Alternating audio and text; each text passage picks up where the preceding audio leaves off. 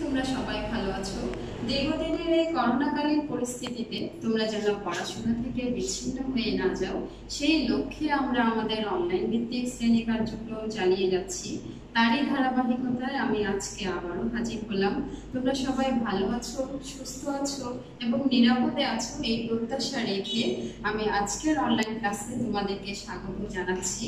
আমি সুমাইয়া ইসলাম প্রভাষক অর্থনীতি, সলিমা সিরাজ, মহিলা ফাজিল ডিগ্রি মাদ্রাসা, জামাল খান, চট্টগ্রাম। আমরা আজকে কি পড়ব আজকে আমরা পড়ব একাদশ দ্বাদশ শ্রেণির দ্বিতীয় পত্রের চতুর্থ অধ্যায়। অধ্যায়ের নাম হচ্ছে জনসংখ্যা। জনসংখ্যা থেকে আমরা আজকের কি পড়ব? আমাদের আজকের আলোচ্য বিষয় হচ্ছে ম্যালথাসের জনসংখ্যা তত্ত্ব। ম্যালথাসের জনসংখ্যা তত্ত্ব পড়াতে গিয়ে তোমাদেরকে আমি একটু শুরু করছি, জনসংখ্যা তোমরা সবাই জানো, জনসংখ্যা হচ্ছে একটি নির্দিষ্ট ভূখণ্ডে বসবাসকারী মানব গোষ্ঠী অথবা জনগোষ্ঠী। ম্যালথাসের জনসংখ্যা তত্ত্ব ম্যালথাস কে ছিলেন? ম্যালথাস ছিলেন একজন ব্রিটিশ ধর্মযাজক এবং ব্রিটিশ অর্থনীতিবিদ। তিনি কি করেছেন? তার নামানুসারে এই তত্ত্বটা কেন হয়েছে? ম্যাথাস তার একটা গ্রন্থ রচনা করেছিলেন। সেই গ্রন্থের নাম ছিল an essay on the principle of population এই গ্রন্থে তিনি জনসংখ্যা সম্পর্কিত বিভিন্ন বিষয়ে বিশ্লেষণ করেছেন। পরবর্তীতে তার নামানুসারে গ্রন্থটির নামকরণ করা হয়েছে, তত্ত্বটির নামকরণ করা হয়েছে, ম্যালথাসের জনসংখ্যা তত্ত্ব। এই তত্ত্বের মূল বিষয়বস্তুটা কি ছিল? কি নিয়ে ম্যালথাস জনসংখ্যা তত্ত্বে আলোচনা করেছেন ম্যালথাসের জনসংখ্যা তত্ত্বের মূল বিষয়বস্তু ছিল জনসংখ্যার সাথে খাদ্য উৎপাদনের সম্পর্ক। জনসংখ্যার সাথে খাদ্য উৎপাদনের সম্পর্ক বিশ্লেষণ করতে গিয়ে ম্যালথাস বলেছিলেন, জনসংখ্যা বাড়ে জ্যামিতিক হারে, খাদ্য উৎপাদন বাড়ে গাণিতিক হারে। এখন তোমাদের মনে প্রশ্ন জাগতে পারে, যেমন, জ্যামিতিক হারটা কি আর গাণিতিক হারটা কি? আমি একটু বুঝিয়ে দিচ্ছি তোমাদেরকে।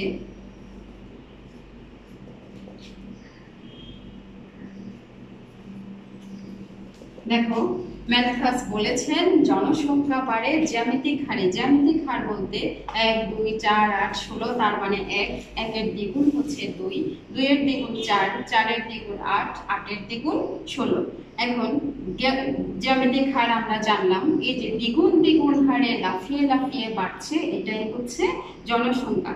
আর গাণিতিক হার বলতে এক, দুই, তিন, চার, পাঁচ, এভাবে ক্রমান্বয়ে বাড়বে ক্রমান্বয়ে বাড়বে, ধীরে ধীরে বাড়বে।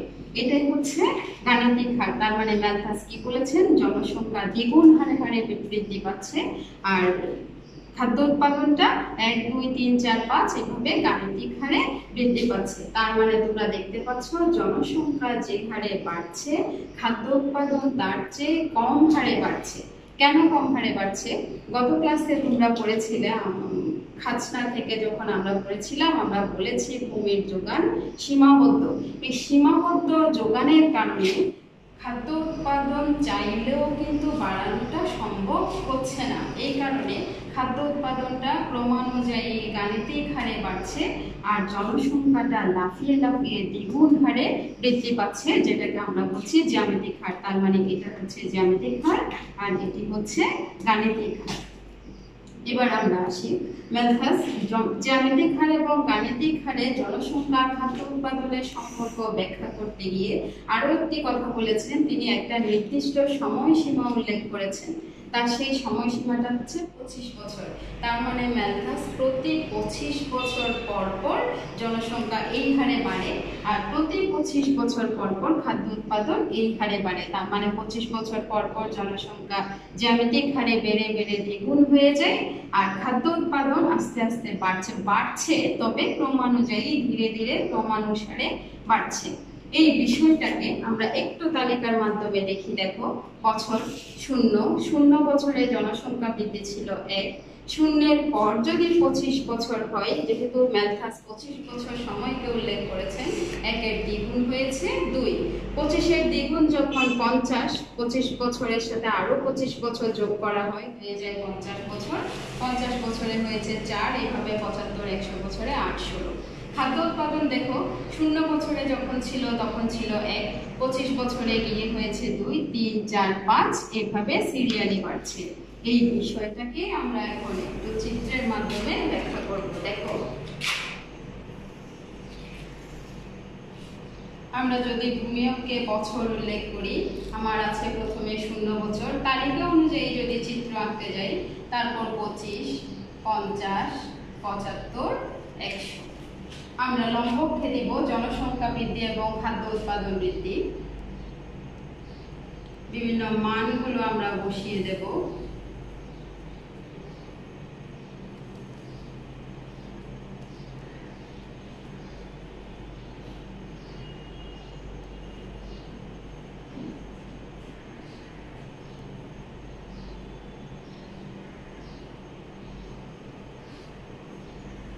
আমাদের সর্বোচ্চ মান হচ্ছে ষোলো। ষোলো পর্যন্ত আমি দিয়েছি। এদিকে থাকবে আমার জনসংখ্যা বৃদ্ধি। লম্বককে আমরা দেখাবো। জনসংখ্যা বৃদ্ধি অথবা খাদ্য উৎপাদন বৃদ্ধি।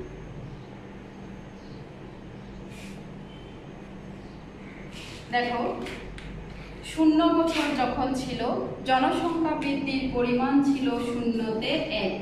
আমরা পেলাম একটা বিন্দু। পঁচিশ বছর পর গিয়ে যখন পঁচিশ বছর হয়েছে, জনসংখ্যা বৃদ্ধি পেয়ে হয়েছে দুই। পঞ্চাশ বছরে যখন গেছে, জনসংখ্যা বৃদ্ধি পেয়ে হয়ে গেছে চার।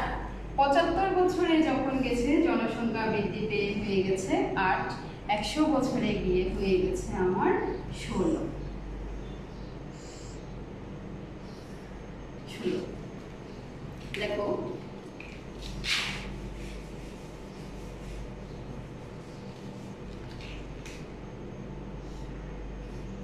এবার আমরা বিভিন্ন বিন্দু পাবো দেখো এই যে শূন্যতে ছিল এক, এই এক থেকে আমরা এই যে বিভিন্ন বিন্দু আছে, এই বিন্দুগুলাকে আমরা যোগ করে দিই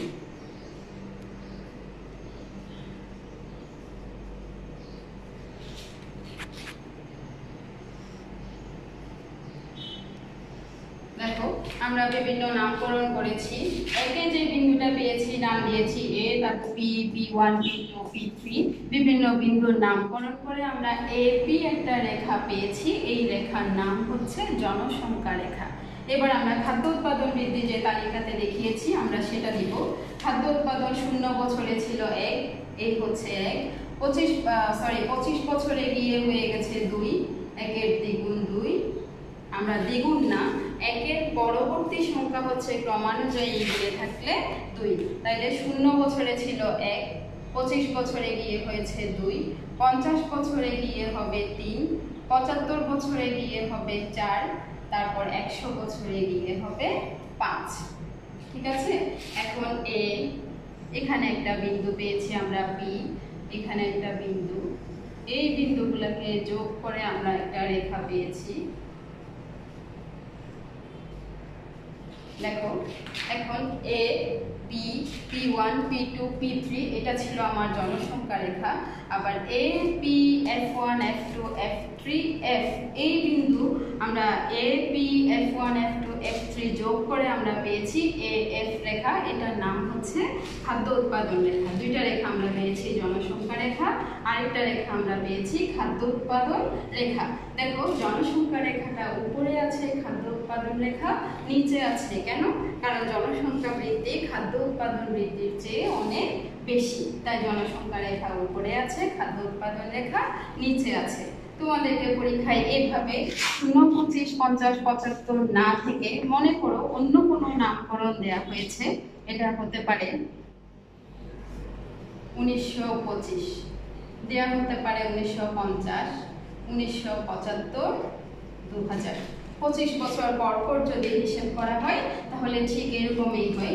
তখন তোমরা এখানে উনিশশোটা যোগ করে দিবে উনিশশো পঞ্চাশ, উনিশশো পঁচাত্তর, এখানে হবে দু হাজার উদ্দীপকে যেভাবে থাকবে, ঠিক সেভাবেই তোমরা নামকরণটা ওভাবেই করবে উল্লেখটা ওভাবেই করবে। এখন দেখো, আমরা দুইটা রেখা পেয়েছি। দুইটা রেখায় আমার প্রথমে জনসংখ্যা রেখা তারপরে রেখা হচ্ছে আমার খাদ্য উৎপাদন রেখা। জনসংখ্যা রেখাটা উপরে আছে, খাদ্য উৎপাদন রেখা। নিচে আছে পঁচিশ বছর হচ্ছে আমার পার্থক্য। জনসংখ্যা বৃদ্ধি এবং খাদ্য উৎপাদন বৃদ্ধির পার্থক্য ম্যালথাস উল্লেখ করেছেন পঁচিশ বছর। তার মানে পঁচিশ বছর পর পর জনসংখ্যা বাড়ছে আর পঁচিশ বছর পর পর খাদ্য উৎপাদন হারে বাড়ছে। এই জনসংখ্যা তত্ত্ব। এখন এই তত্ত্বের মধ্যে তিনি আরেকটা বিষয় উল্লেখ করেছেন, এই যে জনসংখ্যা দ্বিগুণ হারে বেড়ে যাচ্ছে পঁচিশ বছর পর পর, এই জনসংখ্যাটাকে কীভাবে কমানো যায়? জনসংখ্যা কমানোর জন্য ম্যালথাস দুইটা বিষয় উল্লেখ করেছেন। প্রথম বিষয় হচ্ছে প্রতিরোধমূলক ব্যবস্থা যেটা মানুষের হাতেই থাকে নিয়ন্ত্রণটা। দ্বিতীয়ত আরেকটা বিষয় উল্লেখ করেছেন, সেটা হচ্ছে প্রাকৃতিক নিরোধ আমি একটু বলছি, প্রতিরোধমূলক ব্যবস্থাটা হচ্ছে, মনে করো মানুষ একাধিক বিয়ে করছে, বহু বিবাহটা রোধ করতে হবে, খুব অল্প সময়ে মানুষ বিয়ে করছে, এই বাল্য বিবাহটা রোধ করতে হবে। জনসংখ্যা নিয়ন্ত্রণের জন্য যত নিয়ন্ত্রণ পদ্ধতি আছে সবগুলো পদ্ধতি মানুষ গ্রহণ করলেই পঁচিশ বছর পর পর যে দ্বিগুণ হারে জনসংখ্যা বাড়ছে, সেটাকে কিছুটা কমিয়ে আনা সম্ভব হয়। আর খাদ্য উৎপাদন বৃদ্ধি এটা এরকমই থাকবে। পঁচিশ বছর পর পর যেহেতু আমাদের ভূমির যোগানটা সীমাবদ্ধ, এই কারণে খাদ্য উৎপাদন চাইলেও বাড়ানো সম্ভব হবে না। তাহলে ম্যাথাস জনসংখ্যা বৃদ্ধিটাকে কমানোর জন্য কি বলেছেন একটা প্রতিরোধমূলক ব্যবস্থা, যেটা আমি এখন বললাম। এটা নিজেদের হাতেই থাকে। মানুষ চাইলেই বিভিন্ন জন্ম নিয়ন্ত্রণ পদ্ধতি অবলম্বন করে, বাল্য বিবাহ করে, একাধিক বিবাহ বন্ধ করে, আরও যা যা বিষয় আছে, এই বিষয়গুলো মানুষের হাতেই আছে। এগুলোকে মানুষ নিয়ন্ত্রণ করার মাধ্যমে জনসংখ্যা বৃদ্ধিটা কিছুটা কমানো সম্ভব হয়। আরেকটা বিষয় ম্যালথাস উল্লেখ করেছেন, প্রাকৃতিক নিরোধ। এটা মানুষের হাতে না, এটা প্রকৃতির এই সৃষ্টি। কোনো সময় বন্যা, খরা, অপুষ্টি, দুর্ভিক্ষ, বিভিন্ন প্রাকৃতিক দুর বিভিন্ন প্রাকৃতিক দুর্যোগ যখন আসে, ওই প্রাকৃতিক দুর্যোগে বহু মানুষের প্রাণহানি ঘটে। এই সময়ও অনেক মানুষের মৃত্যুবরণ হয়। তখন আবার জনসংখ্যাটা কিছুটা কমে যায়। এই বিষয়টুকু থেকে আবার পরিত্রাণের জন্য ম্যালথাস মানুষকে সতর্ক থাকতে বলেছেন। প্রকৃতিও অনেক সময় মানুষের কার্যকলাপের উপরেই কিন্তু প্রকৃতির ক্রিয়াকলাপটা হয়। এই কারণে ম্যালথাস সবাইকে একটু সতর্ক থাকার, সচেতন থাকার তাগিদও দিয়েছেন। তাহলে আমাদের আজকের বিষয়ে একটু সামারিটা বলছি আমরা আজকে জনসংখ্যার সাথে খাদ্য উৎপাদন বৃদ্ধির একটা সম্পর্ক করেছিলাম। প্রতি পঁচিশ বছর পর পর জনসংখ্যা দ্বিগুণ হারে বেড়েছে। আমরা রেখার মাধ্যমে বিষয়টাকে ব্যাখ্যা করেছি। প্রতি পঁচিশ বছর পর পর খাদ্য উৎপাদন গাণিতিক হারে বেড়েছে, যেটা আমরা এই রেখার মাধ্যমে প্রকাশ করেছি। আর এই যে জনসংখ্যা দ্বিগুণ হারে বাড়ছে, এটাকে আবার রোধ করার জন্য ম্যালথাস দুটা বিষয়ের কথা উল্লেখ করেছেন। একটা হচ্ছে প্রতিরোধমূলক ব্যবস্থা, আর একটা হচ্ছে প্রাকৃতিক এই হচ্ছে আমার আজকের ক্লাসের বিষয়। আমরা এটা তোমরা দেখবে, ভালোভাবে পড়বে। নেক্সট ক্লাসে আমরা অন্য কোনো টপিক নিয়ে আবার হাজির হব। সে পর্যন্ত তোমরা ভালো থাকো, সুস্থ থাকো। ধন্যবাদ সবাইকে।